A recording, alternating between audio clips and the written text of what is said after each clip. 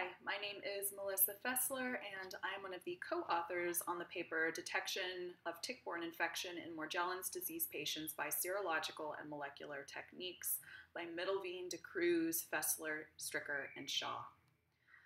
Morgellons disease is a skin condition associated with Lyme disease and tick-borne illness. Patients with this skin disorder experience ulcerative lesions that contain multicolored filamentous collagen and keratin inclusions. Infection with various species of Borrelia and other tick-borne pathogens has been detected in tissue and body fluid specimens from Morgellons patients. We sought to explore this association further in a cohort of Morgellons patients.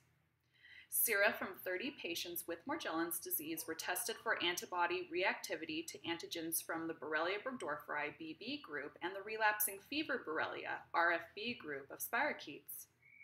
Tissue and or body fluid specimens from these patients were also tested for the presence of BB and RFB infection using PCR technology.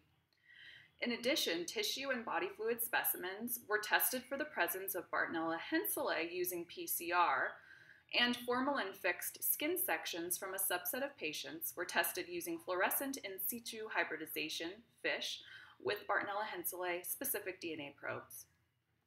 Seroreactivity to BB, RFB, or both was detected in 63% of the cohort, while positive PCR testing for BB, RFB, or both was detected in 53% of the cohort.